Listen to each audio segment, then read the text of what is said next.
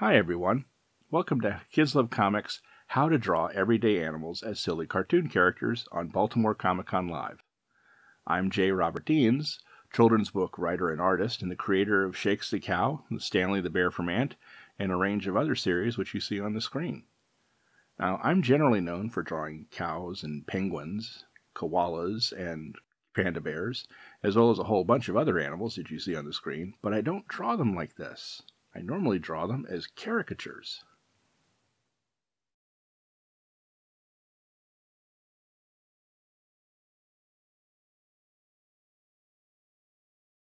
A caricature is when you take a drawing or actually a picture of someone or something that is real, like this cow, and exaggerate certain elements of its features and make it more comical. For example, if you had an uncle with a really big nose, you would draw a picture of your uncle and really make that nose huge. That's a caricature. It's it's a picture of somebody where certain features are just made really ridiculous. And when I made Shakes the cow, what I was doing was making a caricature of a cow so that the pictures of Shakes in the children's books and the picture books I do of Shakes would be funny or hopefully funny. So what I've done for shakes when I created shakes that for the design, you have well a picture of a real cow, and you'll notice that the head shape is sort of there's a hexagon, and then a, a slightly larger nose and mouth at the end of the of the head. So I took that slightly larger mouth and really made it big, so for that big pink snout and then instead of making keeping with the hexagonal shape of the rest of the head, I just made it sort of almost a sausage shape. And I did leave the ears sort of normal, without the black coloring, of course, and gave her centered eyes more in keeping with cartoons like Bugs Bunny and, and Mickey Mouse and things like that. And when I designed the body, I exaggerated some things, simplified some others, because when you're doing a caricature, you're not only exaggerating certain things that stand out, like, for example, the nose on the cow, but you're simplifying other aspects of that thing that you're drawing, which add to the exaggeration of what the other aspects are. For example, if your uncle had a big nose but really tiny ears, not only would you exaggerate the nose, you might even oversimplify the ears to really highlight the exaggeration of the nose. And so, what I did for Shakes now, Shakes only stands like a real cow in one picture in the first book she appears in, Moo Thousand and Pun. The rest of the time, she stands on two legs like humans. But I left her hind legs, if you will, shaped like normal cow legs. They have that really large tapered thigh leading down into the hoof. But her arms, if you will, the forearms, uh, are more like other cartoon animals. They're slim cylinders, or they're, you know, like uh, human arms. There's, again, that design of the head, which is slim but with the really large snout, onto a sleek, almost, uh, well, I guess her body really kind of looks like a squeeze bottle, uh, like for ketchup or something. It's because of the snout. It looks like the the collar of a bottle, and it's a very slim uh, figure.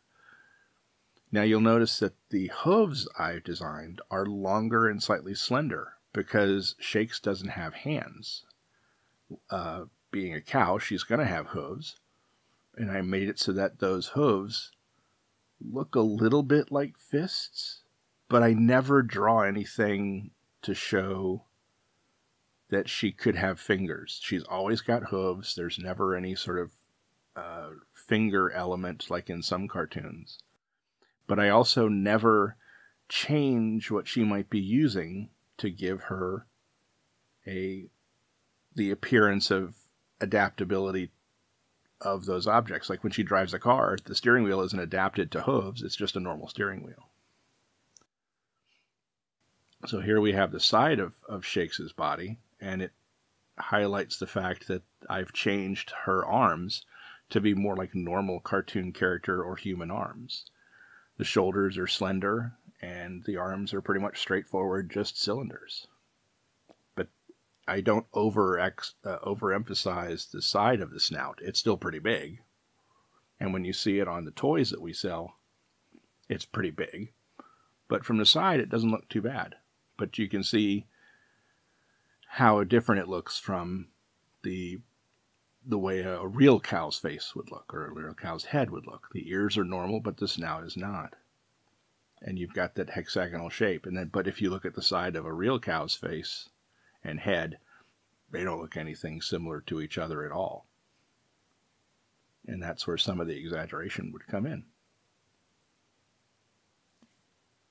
Now, if you wanted to create your own exaggeration or caricature of a cow, you could totally take it a different way where you could keep that large snout appearance but maybe draw it in a totally different way where you bring in the sides of the head as opposed to pushing them out like in a normal cow. Do it something like this. The cow the tongue sticking out is just for goofy effect. But see you've got that large nose the sides of the head are brought in but it's clearly a cow and that's caricature.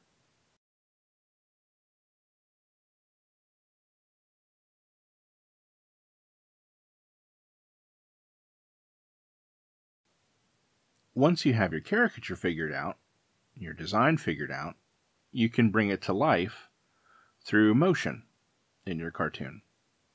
And in real life, such as in this quick image of someone walking, it's pretty standard. And in comics, you want to give it even more life. You want to make it a little over the top. This comics character that's walking leaning forward a little bit. The leg is slightly bent. The arms are out. It looks a little more dynamic. Here's this character running, and it looks like we all do when we're running. But in comics, running characters always look like they're about to jump out of the page running after you. That kind of dynamism is what separates comics from just normal life. And while thing action in real life is intense, you have to make it even more so in comics to really have it jump off the page. You have to exaggerate it. And that exaggeration is what helps sells your story. Now, up top, I've quickly drawn what a cow might look like walking normally. Well, Shakes walks on two legs. So that is enough of an exaggeration that I don't feel the need to give it anything else. I don't need to push the envelope or make it sort of even more goofy or exaggerated than it is. But when I draw Shakes running, that's when I really go nuts. And that's where it's a lot of fun to have animals be really goofy when they run because if they're walking on two legs, they're going to look even sillier when they're running. And here you can see Shakes looks really silly when she runs because her legs really pump. They get really high in the air. The tail starts flying. Uh, in fact, her hooves almost touch in the back there. Her eyes get really wide. She's hauling and she's just going. That is definitely over the top. And not just because it's a cow running on two legs. And it looks silly and that's something you should always keep in mind when you're drawing your comics and your characters. Don't be afraid to have your stuff look kind of silly. Because that's sometimes the best stuff that's out there to read. The goofier the stuff looks, the sillier it is, and the, the more fun your audience is going to have with your artwork. At least that's how I always do. So let's try this again with a different perspective, and that is with Shake's eyes. Now, I'm sure you've noticed that Shakes doesn't have a mouth. Well, she has a mouth, but I don't draw it. Now, here's Shakes slightly from the side, and the, sometimes from this angle, I do draw a little bit of a mouth. But I'm only drawing this for effect. Because normally I do most of, if not all of Shake's acting with her eyes. And that's something you can also do to really sell your character, sell the emotion of what your your story is doing with your character. Notice the really the different size of the eyes. They really get big. Shakes is surprised. Not not sure what she's surprised about, but even then the mouth isn't really necessary. And here in the side view, big eyes. Don't need the mouth to, to know that she is, again, surprised. By what, we don't know. But clearly something's up. And using the eyes to sell this uh, sense of emotion, you can do it one of two ways. You can have really big eyes to show that Shakes is angry, or any character, your character, that the character is angry, intense, or possibly even afraid of something or worried about something. It's all about how you draw the eyes or the eyebrows. Now, I can do this also with Shakes's normal eyes, the, the little small eyes on the far left there in the in the first head. Interested or confused, angry, or just there. Those are the regular eyes, and the bigger eyes are the exaggerations. But they all can show the same emotion. But the more exaggerated you make it, the more over the top you make it, the bigger you're selling the emotion, the bigger you're selling your story.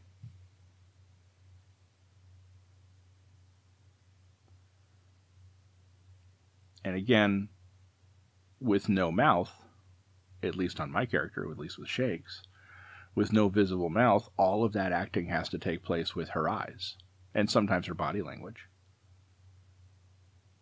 And so you always want to practice drawing those eyes, drawing arms and, and how you place the arms and legs. Sometimes I will draw a mouth, but you'll notice I don't draw it over the top. Because again, it's a cow talking. That's a weird enough situation in and of itself. And when I do draw the mouth, Shakes is either yawning or laughing really loud. That's when you get to see something like this. Big old cow mouth. and then every so often I will draw Shakes smiling because that's always fun to draw a character smiling because you know they're happy. And a happy character is a fun character to draw. And the more you can draw a fun character like that, that's always cool. At least I think so.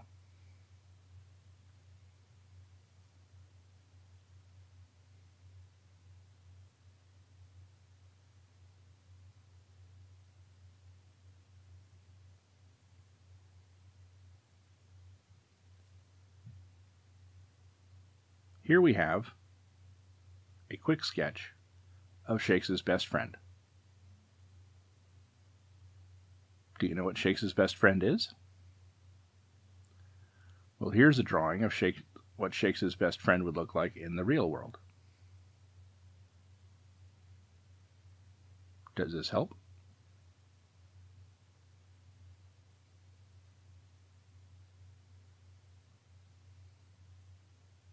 How about now?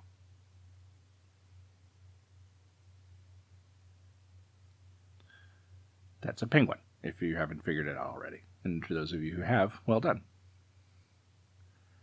Let's try it again with a different animal.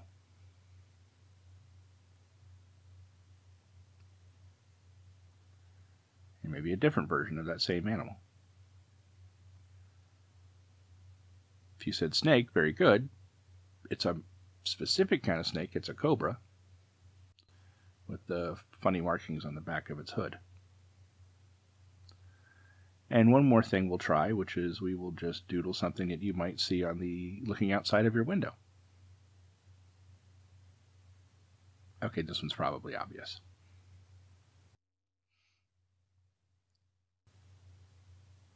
Now this little exercise is to, pardon the pun, illustrate a point. That's a tree that you see outside of your window pretty much every day, right? That's also a tree. It's not as elaborate, but it's a tree. That penguin, that snake, and that tree, whichever one you're looking at, they're all perfectly good pictures of a penguin, a snake, and a tree. And that brings up my point. So I don't just have one point to this video, but really four things for you to remember. In fact, number one is don't worry about being exact. Mistakes are going to happen. I make mistakes all the time. Let them happen and learn from them. Just remember to always do the best you can, and your art will get better with practice. In fact, that's a good life lesson in general. Number two, make your art and your story as silly as you want. The sillier the story, the more enjoyable it'll be for you to create. Because really, you're making the story for yourself, and you are your most demanding reader. Number three, you're telling a story. You're not trying to impress an art critic. Don't worry about trying to draw the most perfect animal or thing. Just draw well enough to get your story across. Everything else will fall into place. I promise. Okay? And the fourth thing, have fun with your art. This is the most important takeaway because the more fun you have drawing and creating, the more you will want to draw, and the better you'll get, and the more people will want to read your stories. In fact, we at Kids Love Comics love seeing fan art and any art in general, so be sure to send it to us. We'd love to see it. Thank you so much for watching this Kids Love Comics How to Draw presentation. I'm J. Robert Deans. You can find me at jrobertdeans.com. There are links to all my stuff there. And please stay tuned all weekend for other great Kids Love Comics creators, and we hope you've enjoyed this presentation once more. And please stay safe. Thanks again. Take care.